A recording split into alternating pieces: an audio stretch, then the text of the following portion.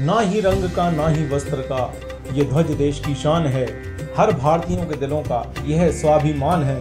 यही है गंगा, यही हिमालय, यही हिंद की जान है।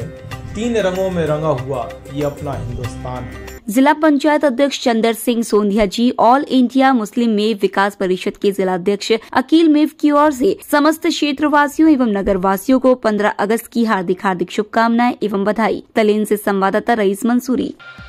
For latest news, subscribe to our channel and press the bell icon